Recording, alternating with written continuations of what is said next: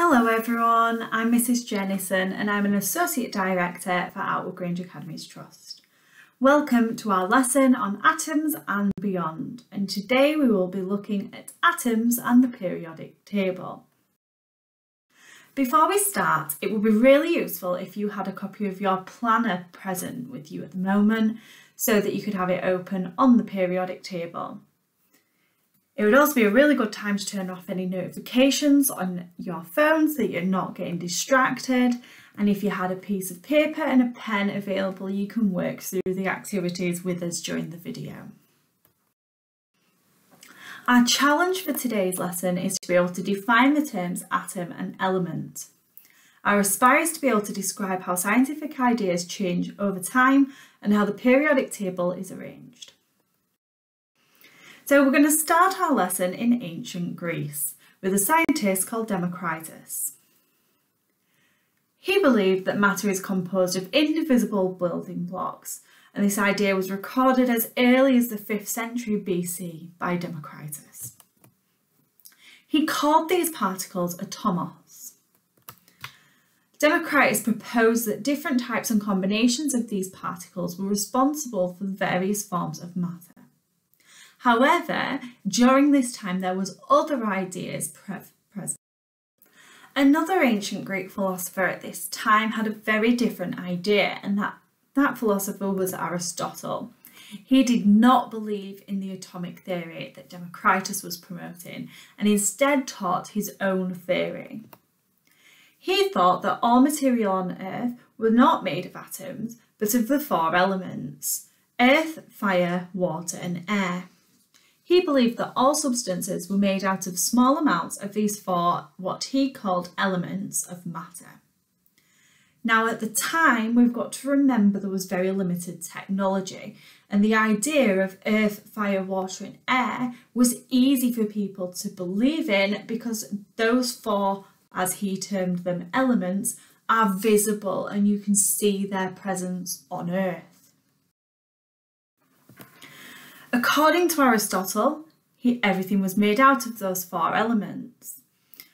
Democritus' theory actually explained things much better, but Aristotle was more influential, so it was his ideas that went forward through time.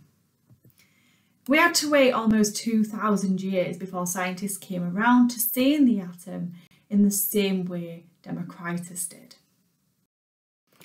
Now, your first task this lesson, I'd like you to outline the theory that each of those scientists had.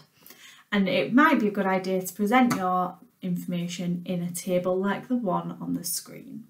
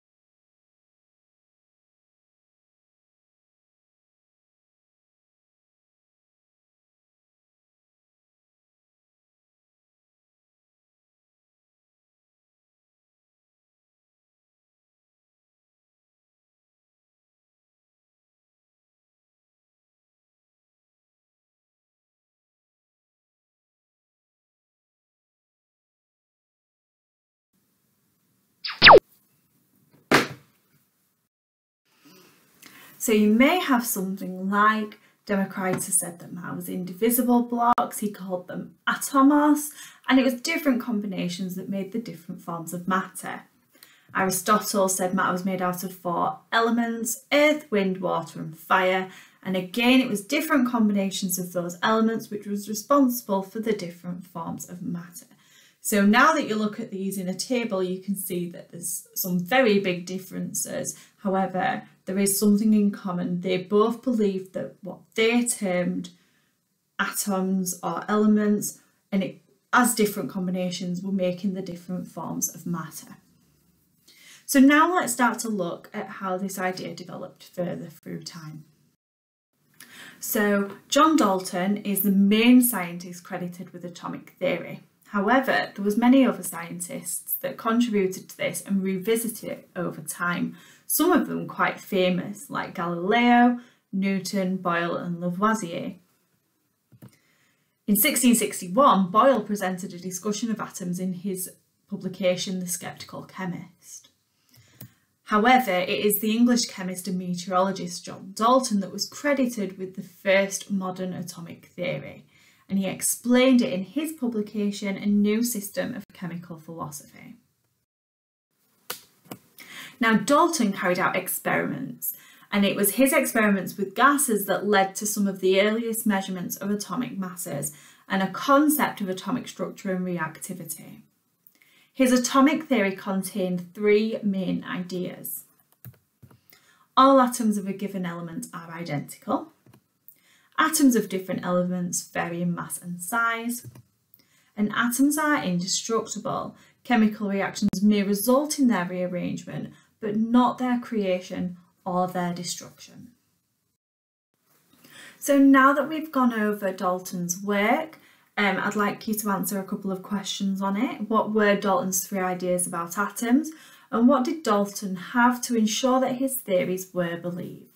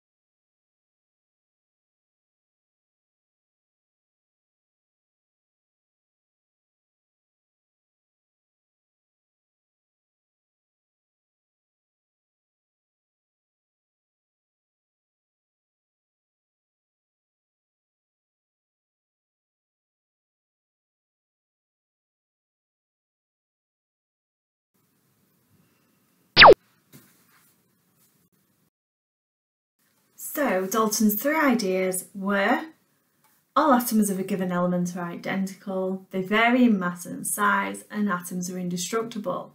Chemical reactions result in their rearrangement, but not their creation or destruction. To ensure his theories were believed, Dalton's findings were actually supported by evidence, and that is fundamental in science that evidence is provided when theories are changed. And he found his evidence from his experiments with gases. So what do we know now? We still use the term atom. An atom is the smallest part of an element that can exist on its own. Atoms of each element are represented by their own chemical symbol, which would either be a capital letter or two letters, one capital and one lowercase. Now, the origin of the word atom is still rooted in that ancient Greek, where it came from the term not to cut, which meant indivisible in their language as we can see, that word developed over time until it was shortened to the word atom. Now, we do use the word element still, however, now it has a very different meaning because it is linked to what we now know about atoms. So, a substance that is made of only one sort of atom is called an element. atoms are actually made up of three subatomic particles, protons, neutrons and electrons. Now, we can see an atom on the screen at the moment. This is a representation of a carbon atom. In the central section, what we call the nucleus, there are protons and neutrons. And for a carbon atom, there are six protons and six neutrons. Orbiting that nucleus is the electrons, and they are arranged in what we call shells. Each atom is made up of a different combination of these three subatomic particles. Any atom of an element will have the same number of protons, however it may vary in its number of neutrons. This is where our modern theory differs from Dalton's. Atoms of an element are not identical, but they do have the same number of protons. We will look into this and the history of the atom in much more detail later on in your studies as we move towards GCSE content. Now, just for a little bit of fun, I'm going to insert a song here that sings about the atoms and I just think it's a bit interesting. So please listen to it still and then we're going to move on to the periodic table.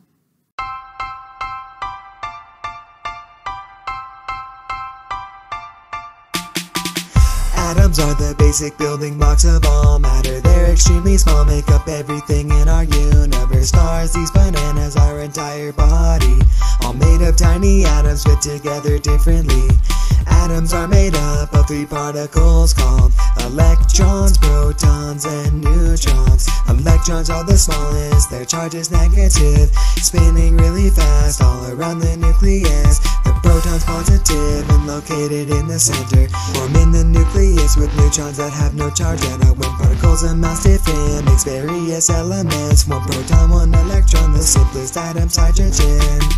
Every element has its own atomic number Tells us how many protons located its center Less protons means less mass, like hydrogen that's a gas. It's less dense than the air, one proton in the nucleus. Because protons have a strong positive charge Push each other away, bubble back with a strong nuclear force. Balance makes atoms possible, everything in the universe Different atoms clumped together are known as molecules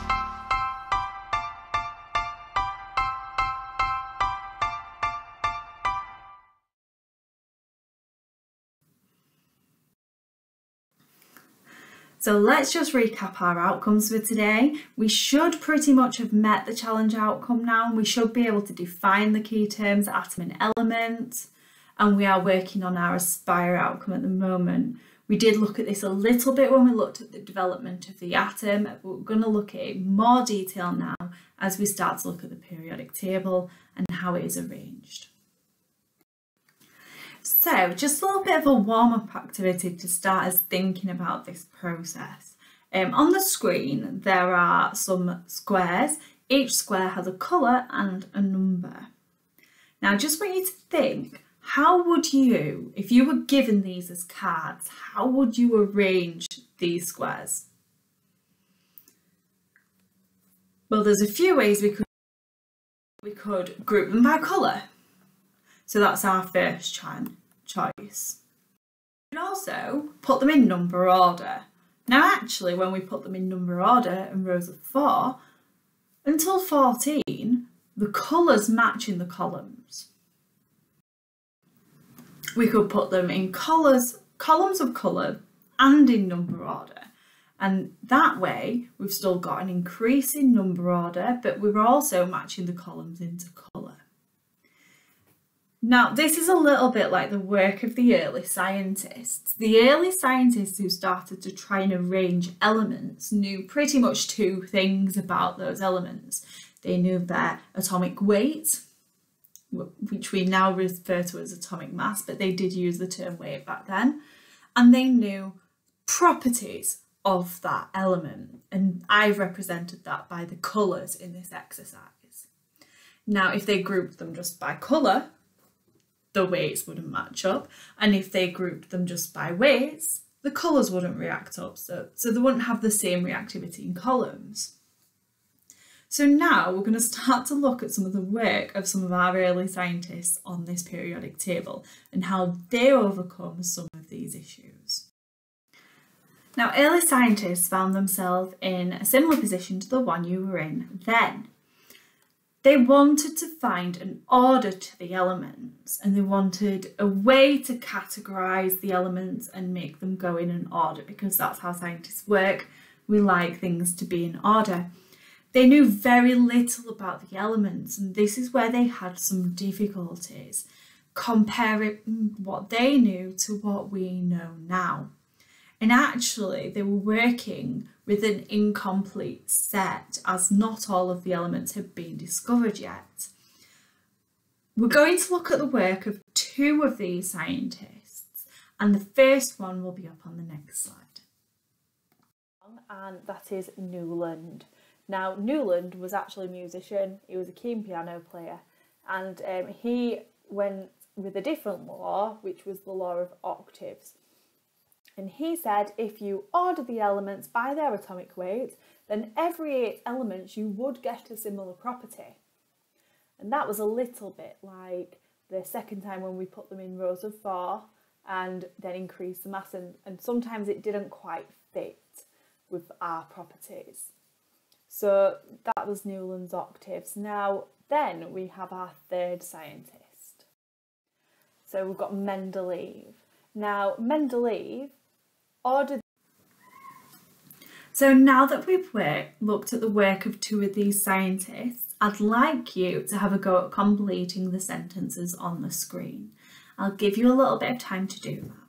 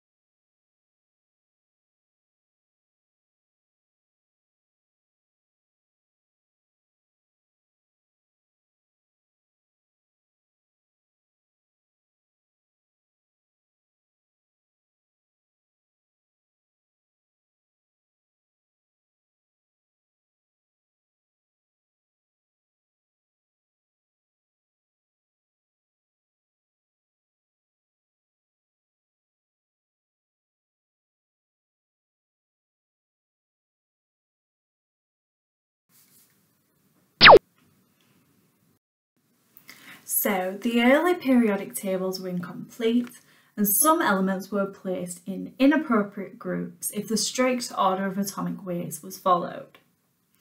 Mendeleev overcame some of these problems by leaving gaps for elements that he thought had not been discovered and in some places changed the order based on atomic weights. Elements with properties predicted by Mendeleev were discovered and filled the gaps, and it's point three that led to Mendeleev's work being more widely accepted. Hi everyone, this is the periodic table of elements and this is the particular one that you would receive in an exam. Now what I'm going to do in this video is I'm just going to annotate this with some really key features that would help you in using it. So the first key feature is the key in the middle. Now, the key tells us what every single number and symbol represents on this table. Now, in that, you can see that we've got the atomic proton number, which is the bottom number on each element, and it is the lower number.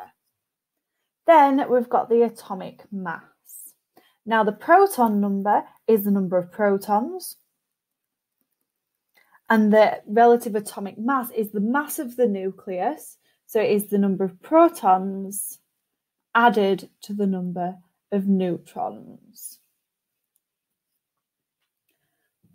If we look at the periodic table, we can see that there are some patterns to its arrangement.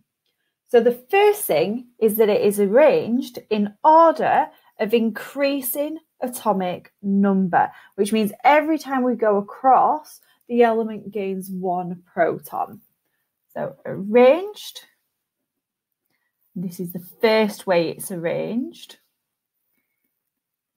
increasing atomic number. The second way it is arranged is to do with the groups. Now, the groups are the columns in the periodic table. And what the groups represent is the number of electrons in the outer shell of that element.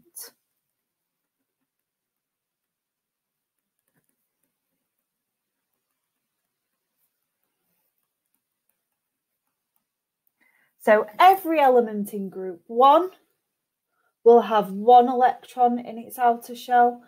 Every, ele every element in group four will have four electrons in its outer shell. The next thing we need to know about is the periods. Now the periods represents the number of shells that each element has.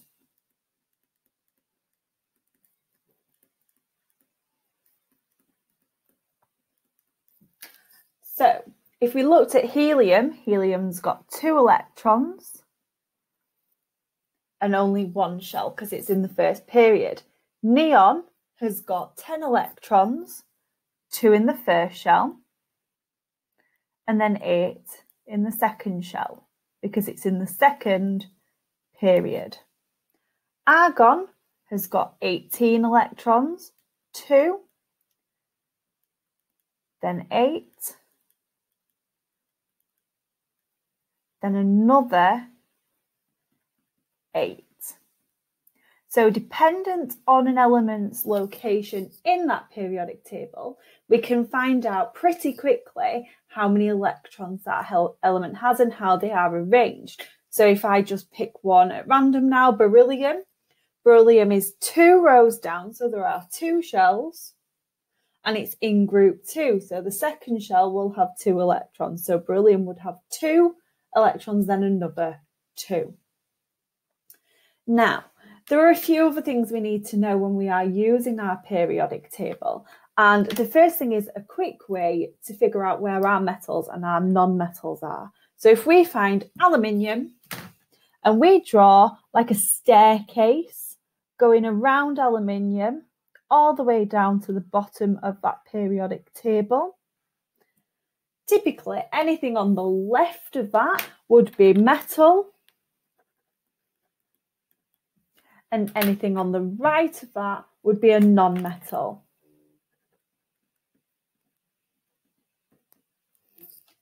There are just a couple of specific groups that we need to know about now. So group one is our alkali metals.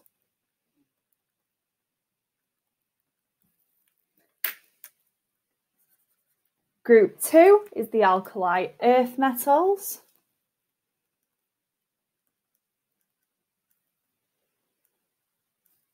This middle block is the transition metals. Group seven is the halogens. And group zero is the noble gases. Remember that group zero is unreactive because it has a full outer electron shell. So there we go. That's our annotated periodic table. So using what I've just gone through, I'd like you to explain why the periodic table is arranged in a certain way and include a description of groups and periods in your answer.